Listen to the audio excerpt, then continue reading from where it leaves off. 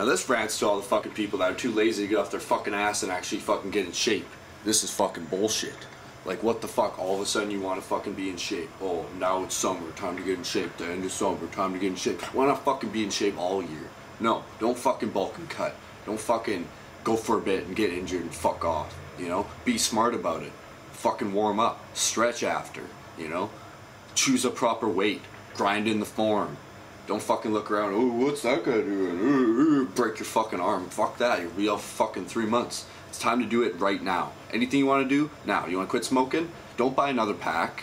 Don't finish your pack. Don't smoke your last smoke. Break them all. Fucking throw them in the garbage and start. You want to go to the gym? Go tomorrow. Go right now. Go when you get off work. Go before work. You know, do 20 minutes at home. Warm up. You know.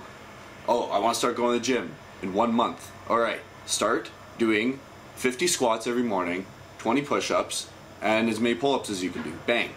You'll be fucking primed and ready. You won't be all bunged up and injured right away. Start eating right, you know? Eat some fucking meat and some vegetables. If you don't eat meat, eat fucking beans and fucking corn and shit. I don't care. Eat some meat, you know? But seriously, start working out. It's bullshit. Let's go.